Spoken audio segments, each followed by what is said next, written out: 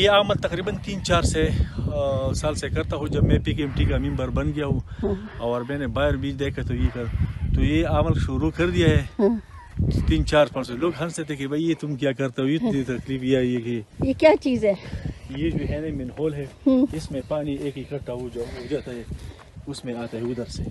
इस इस इधर से उधर टैंकी तक पाइप किया है। वो टैंकी से पैप के ज़रिए इधर से फिर हम ये इस्तेमाल करते हैं अच्छा इस, इस पर इस पर एक दफ़ा हम मैं तुमके घर में जो है ना हाँ।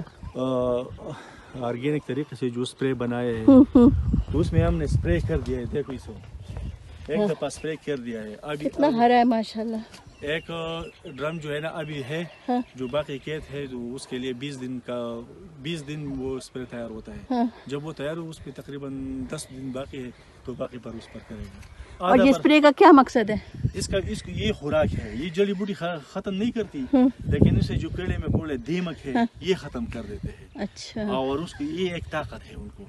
और इसमें है क्या? हाँ? उसमें गोबर है दो किलो गुड़ हम डालते हैं अंजा उसे बोलते हैं अंजा वो डालते हैं और नीम का और ये कुछ दो पौधे हैं उसके पत्ते हैं ना उसमें हम डालते हैं। और यूरिन जो मवेशियों का यूरिन है वो हाँ। डालते हैं। और तकरीबन 20 लीटर में हम जो है